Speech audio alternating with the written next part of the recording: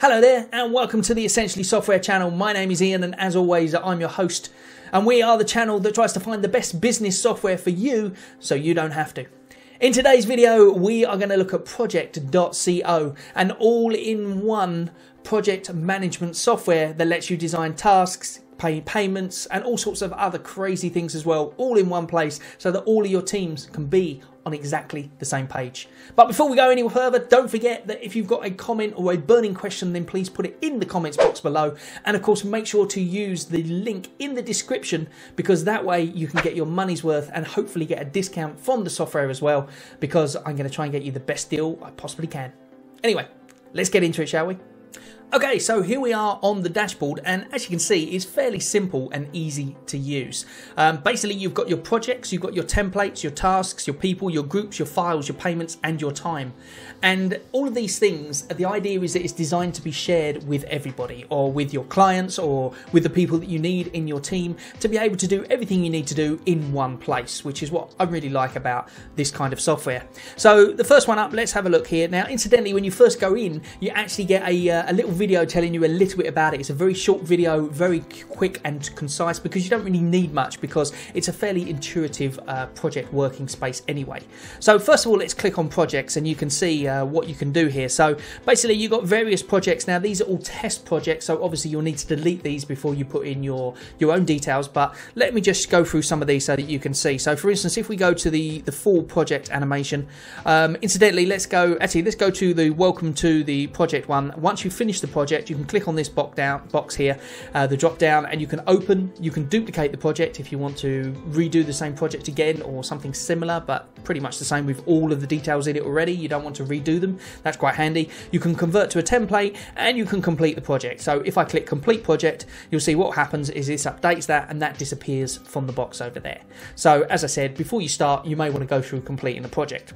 Now, why would you want to duplicate the project? I hear you ask. Well, firstly, is if you look inside here, there's quite a lot of things that you can add into the project. So if it's a similar project all the time, you can just duplicate it and then change a few little bits, edit it a little bit, and you're all good to go.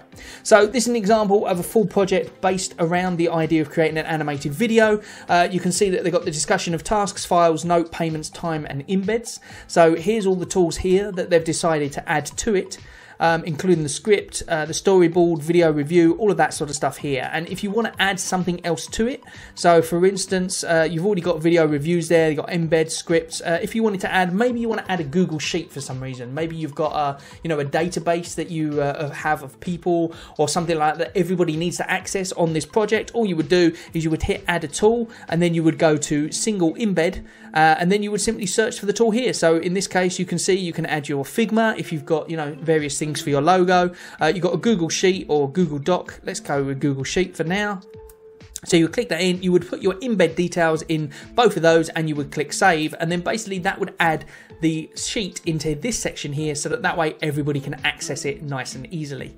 Um, now, in terms of your thing here, you've got your discussion, so you can click on that obviously, and you can see what people are talking about. You can type in your comments there, and you can discuss that specific project. Uh, it's nice that you can easily be able to do that. Um, in terms of getting back to the same place, by the way, look, you can see up the top here, you can see it opens up a bit like a URL. So basically, as each one goes, each one goes there. So if you want to go back to the one before, you can either click the back button or you can just click on it there, and it will take you directly back. Uh, you've got your tasks, you've got your files, your time, your payments. If you need to receive payments or if you need to request payments from this thing, then they can all be done here. Uh, and again, you just had new payment and then you put the filter for it, whatever you want to do.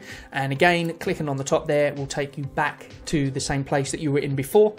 Um, and then, of course, you've got your files, so all files that are needed for the project, your project info, the storyboard, the video review. That is where you can put like a uh, maybe a Vimeo review or something like that that you've uploaded elsewhere. You can simply put that details in so that if people need to see, you know, maybe you're doing something for a client, maybe you're making the animated video for an example. You finish the video, you would upload it to here so that way your client gets to see it at the other end and it's good and golden. You don't have to send it via email or send them a link or anything like that. It's literally all done under one roof here, which makes it nice and simple and nice and easy to use. So this is the project section here. As I said, you can create them however you want and you can add all the bits that you need to uh, to be able to do that. So if we now click on the home button, so here you've got your templates, your tasks, your people, your groups, your files, your payments and your time. So uh, templates is obviously to start a new template uh, from so you don't have to do things from scratch. You can literally add things as templates and you can use them. So rather than duplicating, you can create a template with it. So that way you can just reuse that all the time if you've got those things in there that you need. But it doesn't take long to create one anyway, so I don't think you have to worry too much about that. Uh, your task button, this is all the tasks that need to be achieved by your team. So if you've got a team that's working on stuff, uh, as you can see here, look, you've got different tasks here. Um, so you can put their name, and then this is uh, Easy Plum, Easy Go. Uh, you can put uh, um, Platt, Smith, and Hemingway. So this is the the different thing. This is for a lead tracker. Uh, so for instance, if you want to look uh, here, this is um, one of the tasks that would have to be completed. Okay, and then once your team has completed it, so they can drag and drop their files here. Um, you've got the details of all of the tasks that you need there, and you can add a field if you want to as well. So you can add a project level custom field or an account level custom field, whatever you want to do. Uh, so you've obviously got your groups there. You can add the groups you need. You can assign it to people. Um, you can you know set the main tasks and that kind of thing. Uh, and then here you can drag and drop your files, and you can also type your comments in here as well. Um, and then once this task has been completed, um, then you can literally when the the thing is closed, you can see it's active at the moment, all they have to do is click on the side here. You can see this is to open, duplicate, or delete if you want to do that. But once the task is completed, you don't have to, you know, faff around with too many things. You can literally just click this box here and then it goes up as completed. And then that way the person knows that the task is completed and they will be then, uh, you know, told that the task has been completed in their uh, in their section as well. So therefore, these tasks will then disappear from this box. So let's say we completed this one and this one, for example. You can see they both come up with completed, and then they both disappear because you don't need them anymore. And the other person at the other end will also get updated that the tasks have been completed. So uh, you know that's all good and uh, good and golden for the tasks. It's nice and easy, and it's nice and easy to work out. So again, if you want to go back to the beginning, you just click on the little house in the corner there uh, people is the people that you want to invite and collaborate in the space, and groups is exactly the same thing. You might have a group of people that you want to bring in. Uh, your files is any files that have been uploaded to do with the project itself.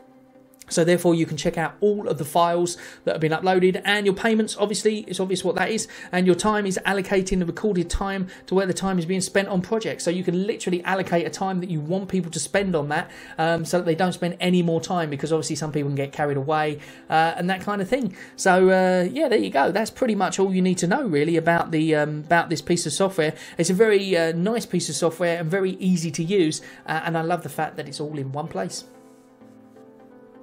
so there you are, that was my little review of Project.co. Uh, one thing I like about the project itself, or about the software, shall we say, is the fact that everything is in one place. That's the whole design of the, the software itself, and it makes it so easy because now if I have a team of people working on something, say I want to, even if I just want to, you know, like um, uh, get somebody from Fiverr, for example, to design me a, let's say, a, uh, an animated logo. What I can do is I can literally send them the project with all of the project details in it, so that that way they just refer to that, and when they're done, they can upload it to there, um, and then I can get to see the the draft of it and all that kind of thing, and then everything else goes through Fiverr. So just as an example, is really easy for that reason, and also you don't even have to, you know, use the Fiverr platform essentially because everything will be done through the payments and everything all done through that program as well. So you know, it's all uh, a great thing that it's all in one space, and it will save you time and a lot of hassle as well because rather than having to send out various emails, that kind of stuff, you've got it all in one place, and therefore you can use that software to make sure that everybody is literally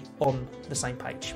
Anyway, thank you very much for joining me. That was everything you need to know about project.co. Uh, if you've got any questions, then make sure you pop them in the comments box below. And of course, don't forget to use the description so that way you can get a discount on the product as well.